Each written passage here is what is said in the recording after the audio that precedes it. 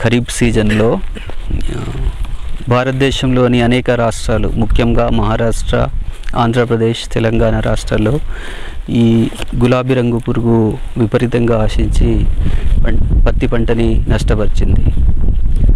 సాధారణంగా ఈ పురుగు అక్టోబర్ నవంబర్ నెలలో రావాల్సింది. కాకపోతే ఈసారి అర్లీగా వచ్చింది.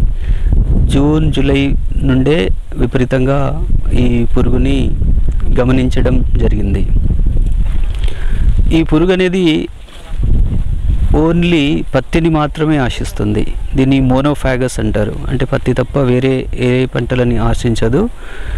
ఈ పురుగులో నాలుగు దశలు ఉంటాయి తల్లి పురుగు దశ గుడ్డు దశ లార్వా దశ అలాగే ప్యూప దశ. ప్రస్తుతము ఈ పంటలో మనం చూస్తున్నాము. ఈ గుడ్డి పత్తి. ఇందులో లార్వ దశ ఉంది. లార్వలో మొదటి దశ రెండవ దశ మనం చూడొచ్చు. ఈ పత్తి అంతా గుడ్డి పత్తి అయిపోయింది. అయితే ఈ పురుగుని నివారించడానికి రైతులు తెలుసో తెలియక విపరీతంగా రసాయన పురుగు మందులు వాడుతున్నారు కానీ ఎలాంటి పురుగు మందులు ఈ పురుగుని అరికట్టలేకపోతున్నాయి.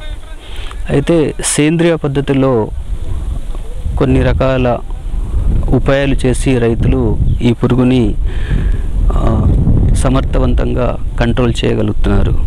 దీంట్లో ముఖ్యంగా ఈ తల్లి పురుగుని అరికట్టడానికి ఇలాంటివి లింగాకర్షక బుట్టలు మార్కెట్లో అందుబాటులో ఉంటాయి.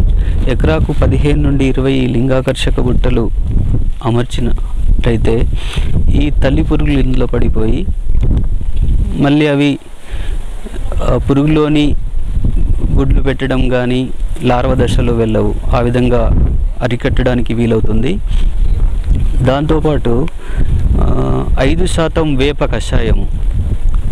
ఈ రైతులు ఊర్లో ఉన్న వేపకాయలు సేకరించి దంచి దాటితో వేప కషాయం చేయొచ్చు. చాలా సింపుల్ మెథడ్ ఈ వేప కషాయం చల్లడం వలన ఆ వాసనకి ఈ తల్లి పురుగు ఇష్టపడక వచ్చి ఈ పంటని ఆశించదు. అంటే ఆ పంట పైన వచ్చి గుడ్లు పెట్టదు. ఆ విధంగా మనము నివారించవచ్చు. మూడో ఉపాయం వచ్చేసి రైతులు ఇట్లా ఇలాంటి గుడ్డికాయలు గమనించినట్లయితే ఇలాంటి గుడ్డికాయలు తీసేసి నాశనం చేయడము కాల్చడం కూడా చేయొచ్చు. ఇక అన్నిటికన్నా ముఖ్యమైనది పంట అయిన తర్వాత రైతులు అలానే వదిలేస్తారు. మళ్ళీ వచ్చే సీజన్ వరకు పంటను అలా వదిలేస్తారు. గుడ్డికాయలు అలా ఉండిపోయి దాంట్లో పురుగు ఉంటుంది. మళ్ళీ దాని జీవిత చక్రము పూర్తి కంటిన్యూ అవుతుంది. వచ్చే సీజన్ కూడా పంటని ఆశిస్తుంది. అందుకనేసి ఒకవేళ ఇలాంటి కాయలు ఎక్కువ ఉంటే అలా ఆ మొక్కలను కూడా తీసేసి కాల్చేయడము లేకుంటే పశువులతో మేపిస్తే కూడా దీన్ని మనము సమర్థవంతంగా అరికట్టవచ్చు. రైతులని ఒప్పించడం కష్టం కానీ ఏక పంట విధానం దీనికి ముఖ్యమైన కారణము. మరి తప్పని పరిస్థితుల్లో వచ్చే సంవత్సరం కూడా ఎక్కువ రావచ్చు. అందుకనేసి పంట మార్పిడి కూడా చేయాలి.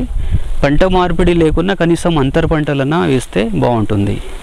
సో రైతులు పురుగు మందుల పైన ఎక్కువ ఆధారపడకుండా ఈ చెప్పిన పద్ధతులు పాటిస్తే సమర్థవంతంగా ఈ పురుగుని నివారించవచ్చు.